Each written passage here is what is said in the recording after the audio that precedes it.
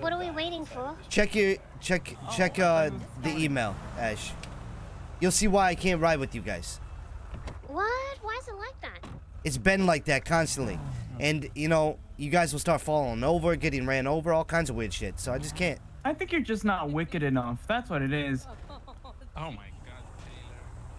Look at them, chat. They want me to ride with them. I can't, I can't do that. Look at that shit.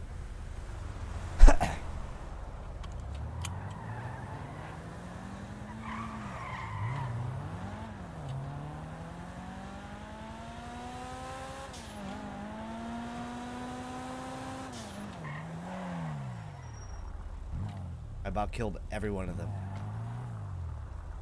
Oh, big surprise! You guys already fell off the side of the fucking Granger. You want to drive?